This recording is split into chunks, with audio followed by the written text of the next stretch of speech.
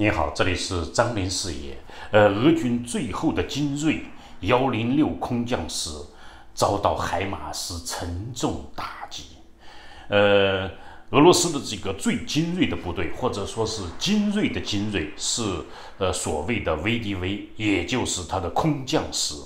呃，因为他们的装备呢是最优良的，而且呢官兵训练有素，待遇最好。呃，他们这些官兵的待遇呢，相当于。呃，比过去的伞兵还要高，几乎就相当于俄罗斯空军飞行员的待遇。呃，所以说呢，他们呢，呃，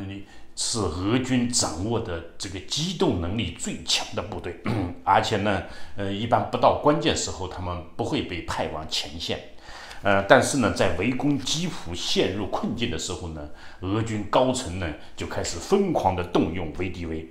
啊。在基辅的外围，在西北、在东北战场上，VDV 都付出了重大损失。呃，后来呢，俄军在乌东战场的战役呢，基本上是不让 VDV 上阵了。也就是说呢，因为呃这么精锐的空降师，如果用来去冲锋的话，啊，那呃是得不偿失的。呃，但是呢，最近呢，在乌东战场上，在去这个整个的这个俄乌前线。呃，由于这个俄军呢已经没有更多的这个军力投入进攻，所以现在急了，又开始派 VDV 上场上阵去交锋。呃，今天呢就传来消息说呢，乌军使用美国的海马斯火箭炮对俄军第幺零六空降师进行了精准的打击。呃，幺零六空降师的指挥部陷入火海，三名副师长无一幸存，全部被炸死。而且呢，现场呢应该还有大量的俄军其他官兵也被炸死，呃，据说现场惨不忍睹。呃，这个俄军呢一般的空降师，它的标准的编制，其他的野战陆军师也都是一般一个正师长，两个副师长。呃，但是呢，由于最近呢，俄军将领频频被斩首，不管是集团军司令还是师长，都成为主要的打击目标。所以说呢，现在呢，很多的集团军司令，呃，师长都是副职代理，也就是副司令代理司令、副师长代理师长。呃，这一次呢，对幺零六空降师的打击呢，让俄军将领、俄军高层呢，都深感震惊。因为，呃，这个幺零六空降师，他的指挥部远离战场多达一百二十公里，想一想多远啊？就相当于两百四十华里，嗯，那就相当于北京到天津的距离。呃，指挥部设在那么远的地方，都照样遭到这个毁灭性打击。呃，所以说呢，呃，俄军的好日子真又终于到了尽头，现在战场形势正在迅速的逆转。呃，此外呢，乌克兰国防部还宣布，今天呢将要开始对克里米亚的俄军目标进行打击。呃，因为最近呢，俄军频频的向乌克兰的城市，呃，像文尼察之类的，呃，发动这个导弹袭击，炸死了大批的空那大量的这个平民。嗯，仅仅文尼察市就有一百多人死伤。而而且这些导弹呢，多半都来自黑海舰队或者是克里米亚的导弹发射基地，呃，所以说呢，只有摧毁他们，呃，乌克兰的城市呢才能获得安全，呃，这也标志着这个呃俄乌战争进入到新的阶段，也就是说呢，乌军呢已经把这个克里米亚呢作为打击目标。呃，另外呢，国那那个乌克兰国防部还说呢，呃，乌军最近在乌南和乌东地区又摧毁了俄军的几座军事基地。嗯，俄军呢现在除了用卡车存放弹药规避打击以外，另外呢也在离前线一百二十公里之外设立临时军火库和临时指挥所，呃，并且定期移动以规避乌军的打击。嗯，因为呢，这个俄军将领呢，很快就发现，如果把弹药，呃，比如说存放在卡车上，让这个卡车单独去躲藏、去行动的话呢，那么许多这个俄军的这个卡车呢，啊，这个驾驶员呢，或者那个，呃，就是说呢，负责监管的那个士兵呢，呃，两个人就会偷偷的把。这个弹药给扔掉，这样他们就安全了，他们就能够随时逃跑。而且呢，呃，他们甚至有的呢，干脆丢弃车辆，说我们挨炸了，说我们现在只有人跑回来了。嗯，甚至呢，有的干脆就投降乌军，把弹药整车的弹药都送给乌军。呃，所以呢，呃，俄军呢后来发现呢，呃，就是说呢，呃，分散保存弹药呢。带来的这个损失更严重，因为这些弹药如果送给乌军以后呢，乌乌军又能够利用这些弹药，使用这些弹药回过头来打击俄军，让俄军付出双倍的损失。呃，所以呢，嗯，俄罗军，呃，俄罗斯俄军军官很快发现呢，还得集中看管，因为俄军的官兵跟乌军官兵不一样。呃，自由世界的官兵都是凭自觉作战。比如说美军呢，呃，他的作战任务发放到你这个一个连或者一个排，甚至一个班或者几个人以后呢，呃，只要就是说呢，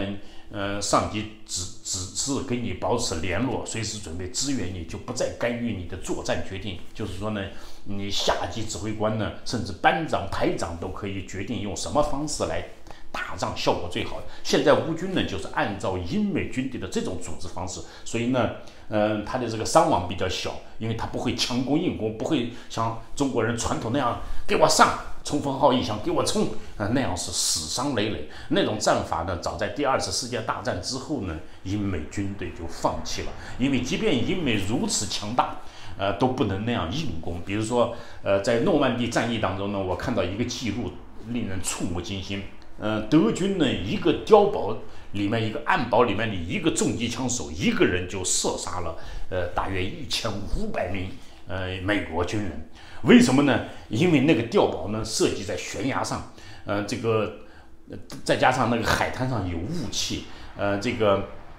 呃美军呢，呃那个第一呢是大部分军那个登陆部队没有发现那个暗堡，而且呢就是发现了。那时候的炮火的精准性很差，就是呃暗炮呢，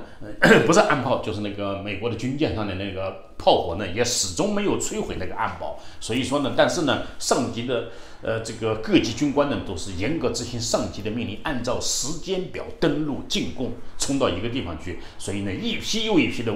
这个德军。呃，不，那个美国军队冲上了那片海滩，经过扫射后以后呢，急急忙忙地奔向他们的这个集合地点，结果呢，居然，呃，那个机枪手，呃，打死了，打死打伤了一百一千五百名美军。呃，其实呢，不光他，他以前日军在中国战场作战的时候，我记得在湛江的时候，呃，日军的海军陆战队也曾经有五百人被，嗯。国民党军队的一个这个机枪手射杀了大概有五百人，那个人后来获得了嘉奖。也就是说呢，过去的战争呢，往往决定权就来自最高这个军事计划由总参谋部制定的。现在呢不这么打仗了，但是现在俄军呢仍然是这样打仗，因为俄军的士兵呢相当于囚徒，他在军队里他是没有自由的，而且呢他被这样严格管理惯了。呃，你让他自由以后呢，他马上就不负责任，就想着怎么样逃跑呀，怎么样溜到老百姓家里面去强奸民女呀，去抢劫财物啊，或者去呃弄两瓶酒，弄几个菜，喝个痛快。呃，所以说呢，俄军呢，他想转变为一支现代化的军队，恐怕还有漫长的道路可走。所以说呢，无论怎么挨打，无论他想出什么办法来，都无法改变不了俄军呢。呃，这个这个整个那个陈旧的呃过时的那种文化观念的束缚，也就是说呢，他们其实是一帮囚徒，嗯，他们只能就是说呢，最终遭到失败的命运。呃，另外呢，呃，来自英国的消息说呢，英国的这个空军司令呢，最近嗯接受记者采访的时候宣布，他们已经做好准备，随时准备对俄军展开空袭。呃，这位空军司令。呃，名叫这个麦克温斯顿，嗯，他认为呢，俄罗斯呢是整个欧洲的威胁，尤其他最近侵略了乌克兰，已经严重的这个伤害了这个欧洲人的，嗯，呃，这个自由和这个尊严，所以说呢，必须遭受打击，嗯，所以说呢，他他的宣布呢，表明呢，就是无论现在的这个首相。约翰逊是否下台？实际上，俄俄英军呢都做好了随时打击俄军的准备。呃，还有呢，呃，越来越多的消息表明呢，乌军炮兵的力量正在迅速的增强。呃，一些视频显示呢，波兰的谢氏自走炮疾驰乌克兰前线。呃，这种火炮呢，嗯，有一个优点，那就是乌军呢以前就使用过，而且非常熟悉。它基本上是属于呃这个华沙系统体系的那种，嗯，这种自主炮或者大炮。呃，所以呢，只要运到前线，乌军呢两三天就可以熟悉，两随后就投入战斗，就能够对俄军呢，呃，进行毁灭性的打击。呃，所以呢，呃，俄乌战场的形势呢，可以说已经发生了逆转。让我们看看俄军怎么样被打得鬼哭狼嚎、丢盔弃甲。